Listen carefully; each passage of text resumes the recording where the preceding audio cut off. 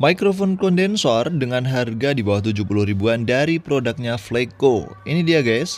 Langsung aja kita unboxing yuk. Di dalamnya kita dapetin kabel yang 2 meter warnanya merah dan ini dia mikrofonnya dari Fleco.